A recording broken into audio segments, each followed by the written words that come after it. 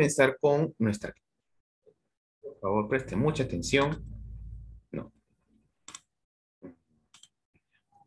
Preste mucha atención porque cada participación que se les pida, cada, cada pregunta, cada, cada, cada cuestión que ustedes participen siempre se va a calificar y va a ser pues este, una nota importante, ¿no? Y como les digo, aprovechen cada clase que, se van, a, que van a ir acumulando nota porque ya este, será pues una semana más o dos que quedan para, para que vengan los exámenes bimestrales, ¿no? Más o menos. Entonces ya tienen que ir aprovechando, ¿no? Bueno, chicos, entonces vamos a ver acá. ¿Dónde estamos? ¿Dónde estamos?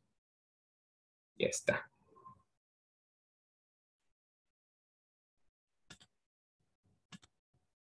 Muy bien, entonces vamos a comenzar acá con nuestra clase. Perfecto, ahora sí espero que se pueda ver bien.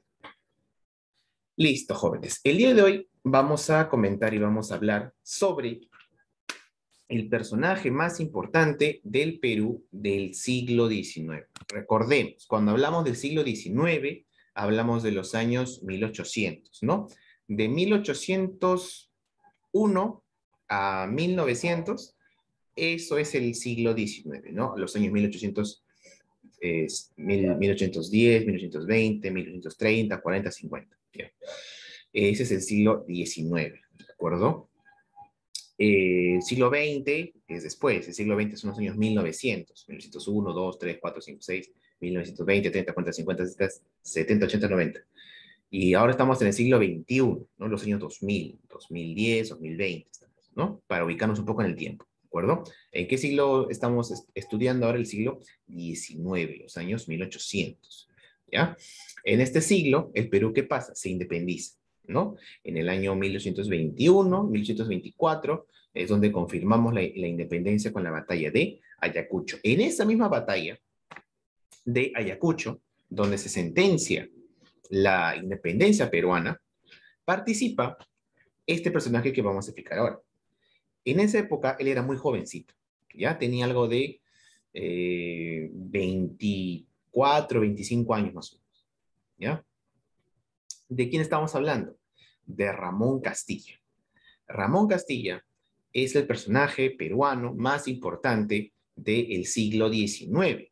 Es un personaje que eh, es considerado como el real fundador de la República Peruana pero ¿cómo que el fundador de la República Peruana, aquí ya no, éramos una república? Bueno, sí y no, porque recordemos que los primeros años de la República Peruana Independiente, este, a pesar de que éramos pues una, un, país independiente, se mantenía muchas pugnas internas, había mucha anarquía, eso que te explicaba, ¿verdad? Que uno se peleaba con otro, que había golpes de Estado, revoluciones, se fusilaban entre presidentes, ¿verdad? Era todo un caos.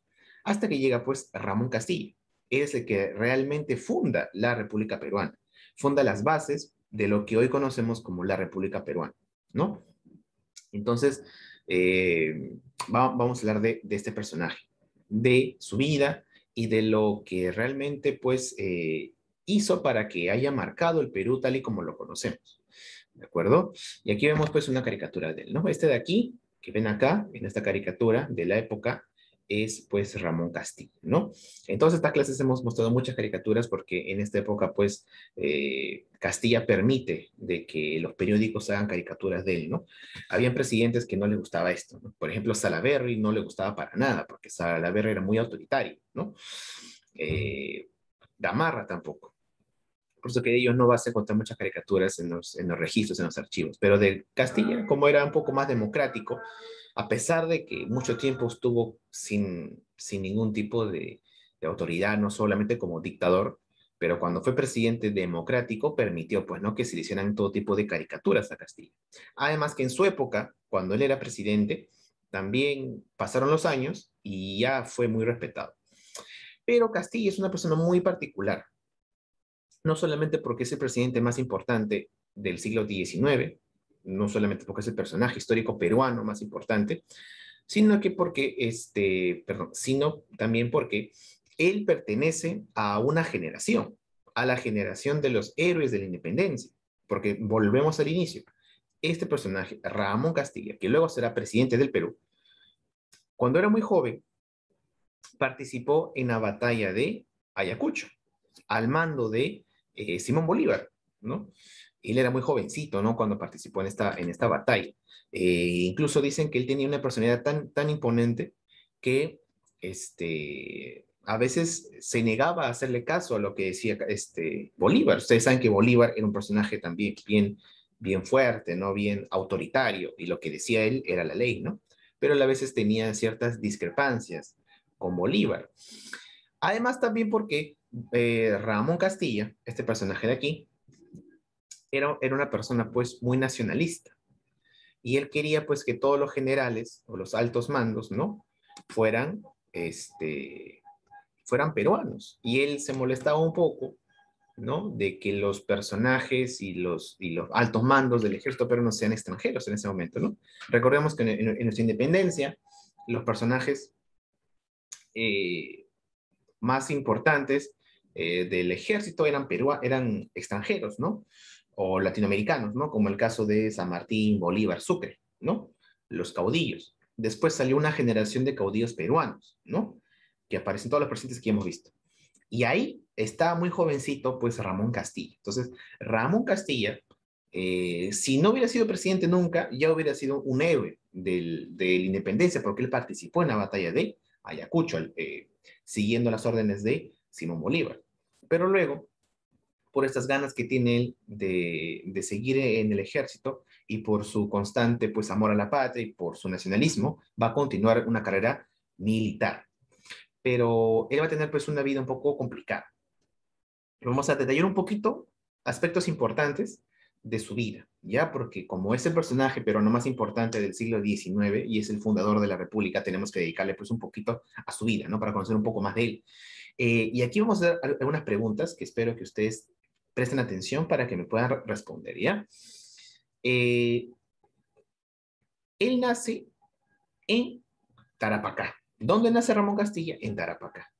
En ese momento, Tarapacá le pertenecía al virreinato del Perú. Cuando nace Castilla, en Tarapacá, todavía le pertenecía ese, esa ciudad, esa región, al virreinato del Perú. Todavía éramos un virreinato, todavía no éramos una, una república independiente, éramos aún parte de España cuando él nace. Y la pregunta es, chicos, y quiero que participen, ¿dónde queda actualmente Tarapacá? Pregunta. ¿En Perú, profesor? ¿En Perú? No, no, no, no queda en Perú. Actualmente, actualmente. ¿Dónde queda Tarapacá? ¿Arequipa? No, tampoco. ¿Ica? No. En el... Profesor, ¿qué dijo? Ya dije, ya. ¿Por qué no prestaste? Les, les, dije que prestaran atención. ¿Dónde se ubica para, no, para Capá, no? A ver, repito para todos. Ramón Castilla nace en una ciudad, en una región llamada Tarapacá que en esa época le pertenecía el virreinato del Perú. La pregunta es, ¿dónde actualmente queda Tarapacá? En Chile, en En Chile. Chile, en Chile. Chile, profesor, Chile. Chile. Muy bien, póngame aquí en el chat la respuesta para tenerlo acá clarito. En Chile, ¿no? Perfecto. ¿Por qué? Como que, entonces, si, si actualmente Tarapacá queda en Chile, ¿eso significa que, Ram, que Ramón Castilla era, era chileno? No. En esa época, Pero, profesor, ahí dice, ahí dice que era del gobernato del Perú. claro, claro. En esa, Entonces no puede ser de Chile, puede ser de otro país. en esa época, en esa época, eh, a ver, eh, es que les, les explico, ¿no? En esa época, eh, esta ciudad de Tarapacá le pertenecía al virreinato del Perú, pero después de años de su, de su muerte, de, de Castilla, en después de casi, casi 70 años, esa parte va, va a pasar a ser este, de Chile por la guerra del Pacífico. ¿De acuerdo? Chile se va a apropiar todos esos terrenos de la costa del sur de Bolivia y de Perú, y esa zona de Tarapacá va a pasar a manos de Chile. En realidad, la zona de Antofagasta también disputa entre Bolivia y, Chile, y finalmente Chile se lo va a quedar, y también se va a quedar con, con las zonas de Tarapacá y, de Arica, que, antes le pertenecían al Virreinato del Perú y luego a la República Peruana, y luego eso se va a perder, ¿no? Incluso en el, en el escudo peruano, en su... ¿Han visto que el escudo peruano tiene, pues, unos laureles, ¿no? Ya, de los laureles que tiene el Perú, que son esas, hojitas que están eh, como un- que, hacen como un marco al escudo peruano, ya. Hay dos hojitas que están dobladas para abajo. Esas dos hojitas simbolizan las dos, las dos provincias cautivas, que son este, Arica y Tarapacá, que se perdieron en la Guerra del Pacífico, ¿no? Es como un, es como un homenaje que se hace. Entonces, Tarapacá y Arica le pertenecían al Perú durante el virreinato y durante los, primeros años de, de nuestra república. Y luego este, van a pasar a manos de Chile, después de la Guerra del Pacífico. Ya está. Entonces, como les decía, entonces, ¿eso significa que, Ram- que Ramón Castilla, el fundador de la República Peruana, es chileno? No. Cuando él nace, él le, pertenece al Perú.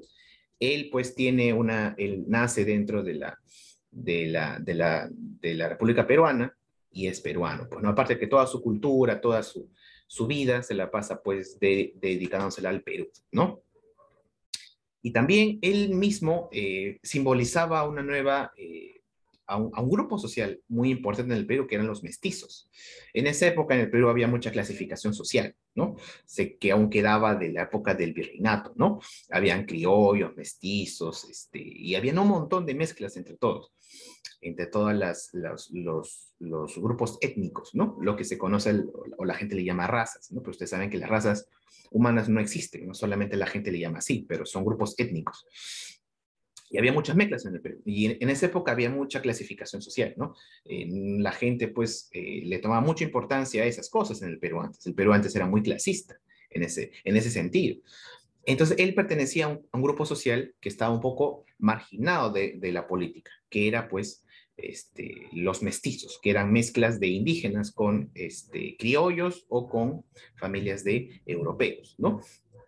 Y Castilla va a ser un mestizo, una mezcla entre este, criollo y eh, indígena. Su madre va a ser una eh, descendiente de una cacique aymara en el sur peruano, de Tacna, ¿de acuerdo? O sea, su madre va a ser indígena.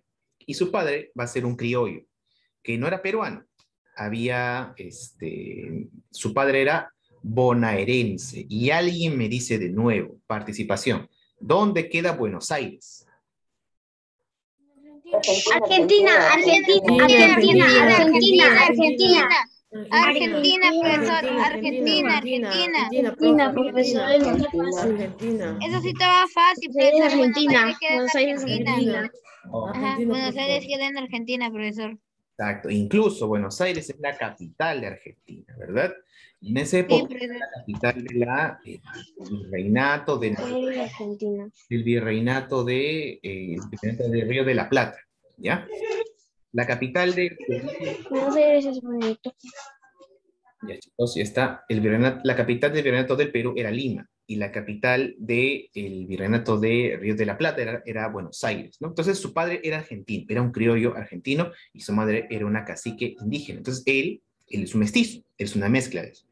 Y como les digo, en esta época había mucha importancia con eso, ¿no? El Perú era muy clasista en ese sentido, Y poco a poco, gracias a Castilla también, eso se empieza un poco a tratar de derrumbar. Y ya vamos a ver al final por qué, ¿no? Porque vamos a tener dos clases sobre Castilla, porque tiene eh, dos gobiernos, porque él gobierna muchos años, ¿no? Y él participa durante todos es- esos años en la política peruana, ¿no? Desde los años 40 del siglo XIX hasta los años eh, 60 del siglo XIX, casi 20 años, Castilla va a estar activamente participando en política y va a cambiar muchas cosas en el Perú, ¿no? Por eso es muy importante y tenemos que conocer algo sobre su vida. Y bueno, básicamente, siguiendo, esta, pequeña biografía que tenemos de él, él tiene, un hermano mayor, que con su hermano pasa una historia muy particular. Ambos, cuando eran jóvenes o casi adolescentes, eh, estaban en el ejército, pero el ejército realista, el ejército español. Así como muchos héroes de, de la independencia van a pasar primero por el ejército español, por el ejército del virreinato. En esa época, muchos de los que hoy son héroes de la independencia, como San Martín, como Bolívar, cuando eran adolescentes, estaban en el ejército español, el ejército rea- realista, ¿no?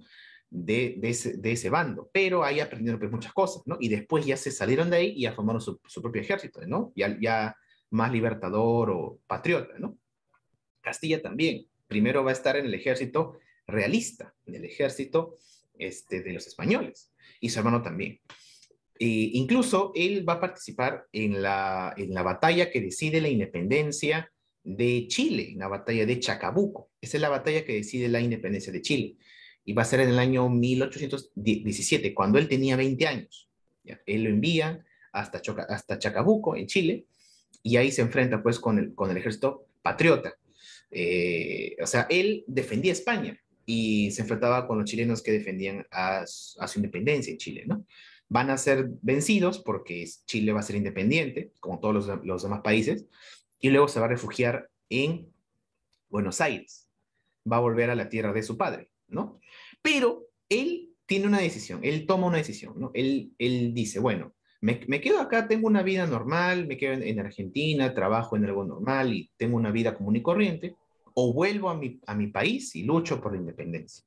Y acá pues es, es donde nacen los héroes, ¿no? De, donde dicen, pues, ¿qué cosa hago con, con, con mi vida, no? ¿Me quedo acá a ser un- una persona común y corriente o me voy al Perú y lucho para que mi país sea independiente? Y ahí pues es donde nace eh, prácticamente la figura de Ramón Castilla, que no es muy conocida, jóvenes. O sea, Ramón... Mamá, Sí, dime. ¿Qué decir?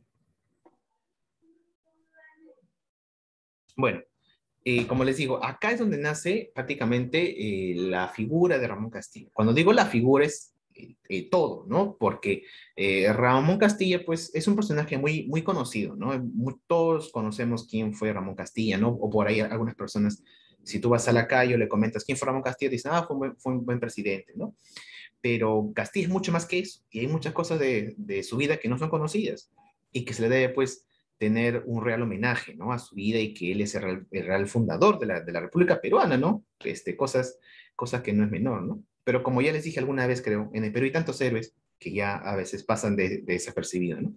Pero un héroe muy importante que es el fundador, ¿no? El padre de la República, en muchos, eh, o de la República Moderna Peruana, es Ramón Castilla. Y ahí es donde dice, eh, donde está en Buenos Aires, ahí es donde, ahí es donde decide, pues, vol- volver a Perú. En esa época, cuando él estaba en, en Buenos Aires, el Perú aún era un virreinato, aún no era independiente. Y él decide volver desde Buenos Aires hasta Lima. Pero no tenía ningún tipo de pasaje de, de barco, porque en esa época no había aviones, solamente la gente se iba en barco. Y tampoco habían carreteras, y tampoco tenía pues ningún tipo de líneas de ferrocarril.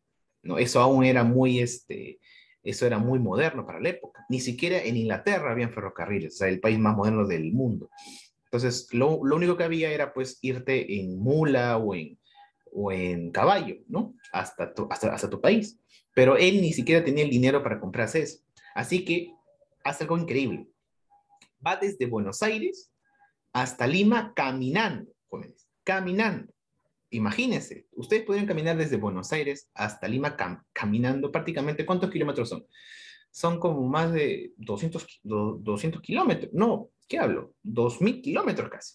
Está de, un- de una esquina a otra en Sudamérica. Pasó por Buenos Aires a toda Argentina, el norte argentino, que es sierra.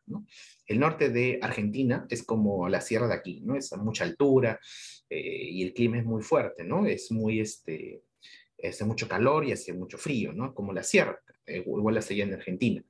Luego llegó por Bolivia, que es mucha más altitud, y bordeó por la selva, por la Amazonía, ¿no?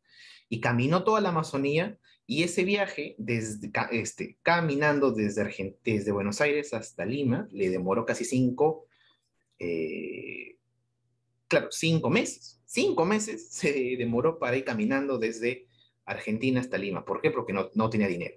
Pero tenía la- las ganas de luchar por el país para que lo vea independiente, ¿no? ¿Y, y cuántos años acá tenía en esta época? Tenía 10 20, 20, 21 años. Luego, cuando llega a Lima, se entera de que ya están pues llegando los ejércitos extranjeros de San Martín y de Bolívar. Mientras no- nosotros eh, explicábamos en clases anteriores, o bueno, yo con otro profesor, cuando hablaban de la independencia, cuando venía San Martín, Bolívar, mientras pasaba eso, estaba caminando por todo el sur, por todo, desde Argentina hasta Lima, estaba caminando el joven Ramón Castilla para, para luchar contra el ejército, ¿no? Y es algo que, que- que no se recuerda, ¿no? Mucha gente no conoce esto, pero para eso están las, las clases de historia, para conocer la real participación de los héroes peruanos, ¿no? Que Ramón Castilla es un héroe peruano, es el máximo héroe del siglo XIX. ¿Y ustedes cómo, y- y ustedes cómo lo descubren? Ah, porque él también escribe cartas, en esta época ya hay este, lo que es el telégrafo, ya hay más comunicaciones, entonces ya como es un poco más moderno, ya se conoce mucho más de los personajes, ¿no? Mientras más recientes son, mientras menos ha pasado en el tiempo, más se puede conocer de, los personajes, ¿no?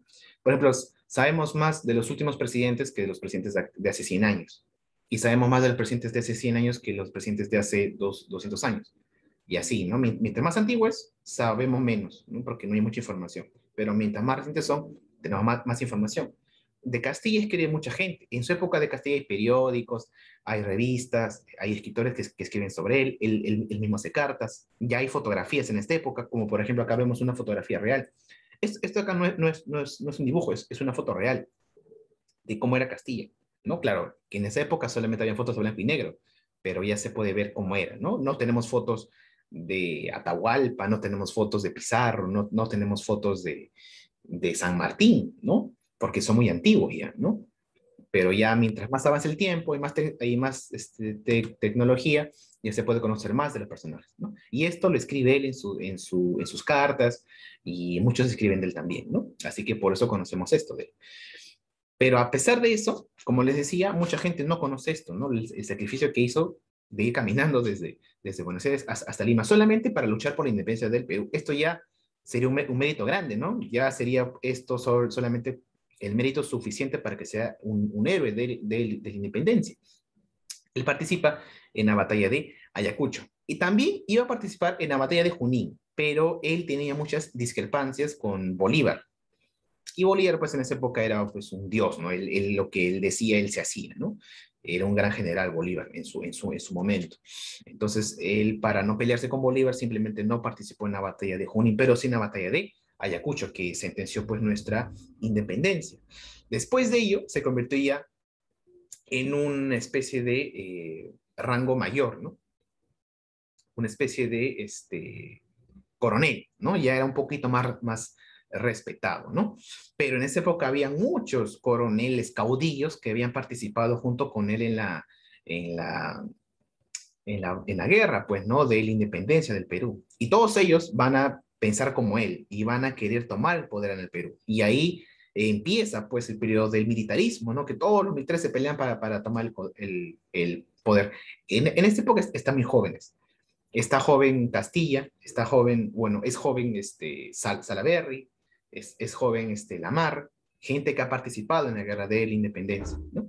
Pero lo curioso es que cuando está en un campamento en, en Ayacucho, ya cuando acabó es- es- esta batalla, hay dos campamentos que, que, que son vecinos, ¿no? Está el campamento de los patriotas, donde está Castilla, porque él se, él se cambia de bando, ¿no? Estaba en el bando de los españoles y ahora se pasa al bando patriota, ¿no? Al mando de Bolívar.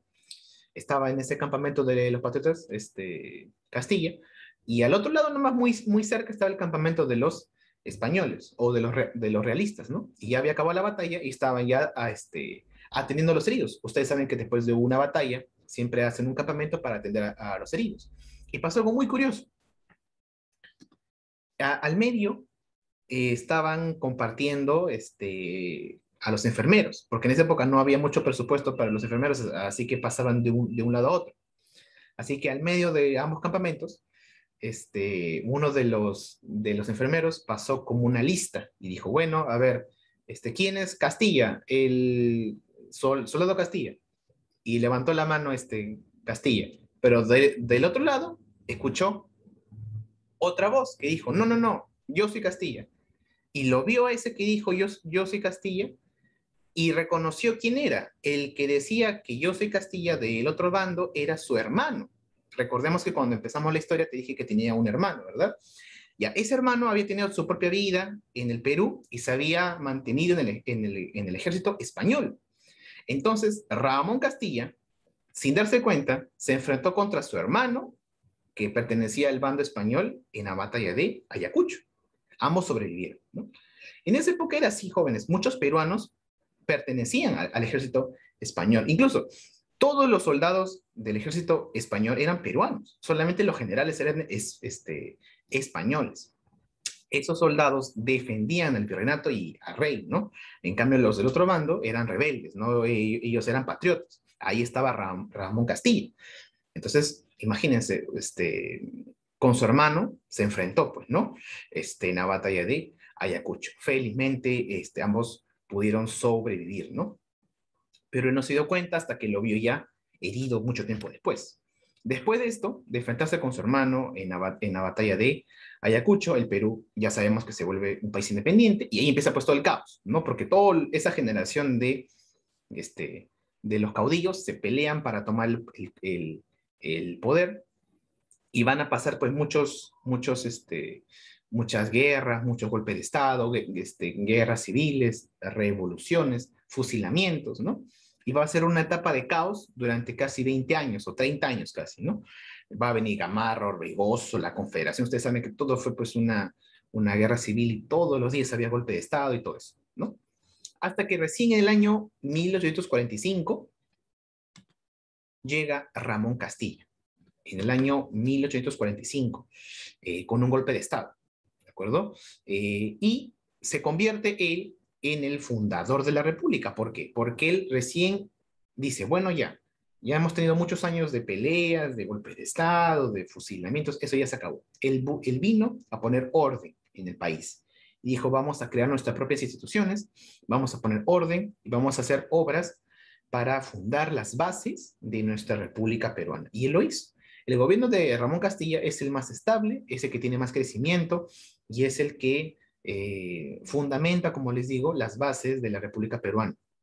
Es el gobierno más exitoso del siglo Es por eso que Ramón Castilla pues, es considerado el fundador de la República Peruana, porque antes de Ramón Castilla prácticamente no había república, solamente había peleas entre caudillos, entre, entre militares.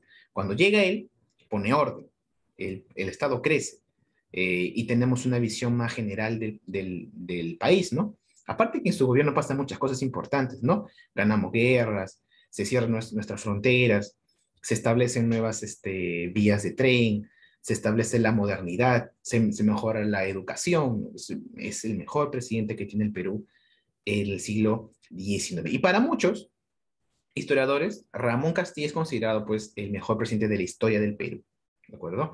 Entonces, no solamente es héroe de la independencia, no solamente que es fundador de la República Peruana, no solamente que es el, el que modernizó al país, sino que también fue el mejor gobernante del siglo XIX y posiblemente de este, la historia del Perú, ¿no? Entonces, hablamos de Ramón Castilla.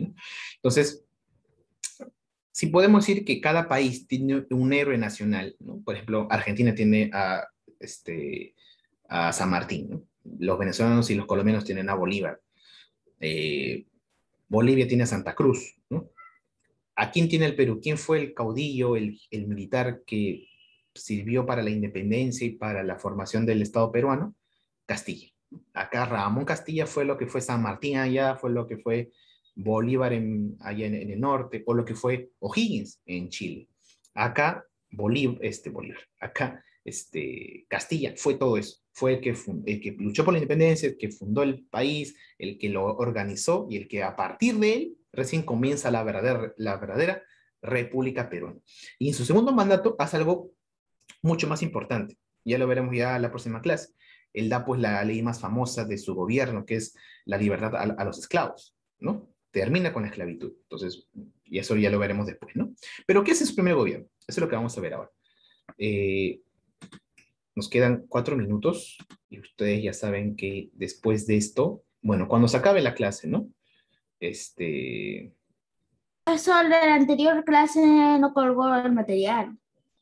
No, sí, ah, no, es que en, el mismo, en la misma dia- diapositiva ya estaba ahí. Así que es la misma. Porque es- Profesor, ¿y esta, esta clase también es lo mismo de la vez pasada o ha cambiado algunos? No, acá, acá sí son, acá sí son imágenes nuevas, por eso que sí lo voy a colgar. Es que la semana pasada vimos la era del guano, 1 y 2. Entonces, como fue 1 y 2, prácticamente era la misma diapositiva, por eso que ya no tuve la necesidad. Pero esta sí, porque hay imágenes nuevas y conceptos nuevos. Eh, Castilla, en su primer gobierno, hace muchas cosas muy importantes, ¿ya? Primero, hace algo que nunca se había hecho antes. Se hace, pues, eh, o se crea lo que se conoce como la, eh, el presupuesto del, del Estado. Imagínense, hasta el año 45, cuando llega Castilla, el gobierno peruano era pues un desastre, no se había hecho nada, no se había hecho presupuesto, no, no se había planificado nada, solamente se hacía todo, este, depende de los militares que venían, ¿no? En cambio, cuando llega Castilla, dice, bueno, vamos a poner orden, hizo un presupuesto, y el presupuesto del, del Perú en, ese- en esa época era algo de 8 millones de pesos, que hoy es poquísimo, pero para esa época era algo normal, ¿no? Y con ese dinero eh, organiza a la economía peruana y se dedica pues a hacer planes para pagar las deudas. Castilla era un gran estatista, es decir, que, eh, perdón, estadista, sabía muy bien manejar lo que es los temas económicos. Y él también pues se dedica pues a hacer planes para pagar la deuda interna y la deuda externa. Elabora el primer, presupuesto y también hace muchas obras, ¿no? Y la obra más importante que tiene Castilla, o una de las más re- resaltantes y las más recordadas, es la creación de los ferrocarriles. En esta época, lo más avanzado en la tecnología era el ferrocarril. Como les digo, ya más o menos por el año 45, 18- 1845, en Inglaterra, en Alemania, ya hay, ferrocarriles. Ya las ciudades se, se conectan con, con esto de acá que ven aquí en, las fotos, ¿no? Esto de aquí, estos ferrocarriles, eran, era lo más moderno que puede existir eh, en el mundo para el, para el transporte. Los países que, que tenían este, ferrocarriles eran los países más avanzados en el mundo. Y Ramón Castilla, pues, se dedica a comprar estos ferrocarriles y a crear un- una línea férrea desde Lima hasta el Callao. Y aquí tenemos una caricatura, como siempre, mostrándonos esto, ¿no? ¿Y qué vemos aquí? Aquí vemos que está acá es Castilla, inaugurando esto de acá, una, eh, este, ¿cómo se llama esto? Una, una locomotora, ¿no? Que lleva adelante, pues, al, al ferrocarril, ¿no? Y aquí también en la caricatura vemos que está inaugurando un poste, porque durante el primer gobierno de Castilla se funda el, alumbrado público. Imagínense, hasta 1845 en Lima no había luz eléctrica. La gente solamente tenía pues este, en sus casas vela. Mm, Eso era, era lo único, ¿no? Era como vivir en el, en el campo, este, Lima.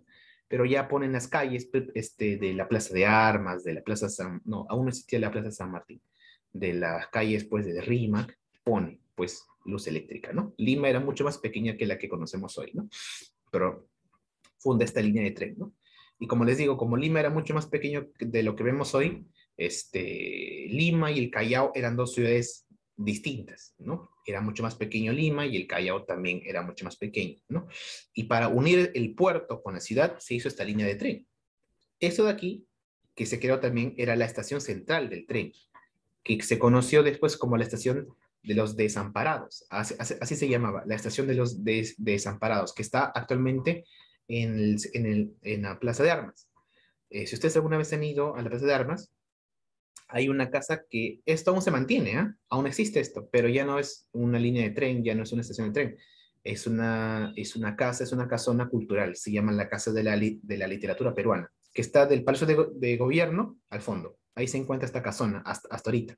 Y ahí antes era la, la estación de tren. Y debajo, por el río Rímac,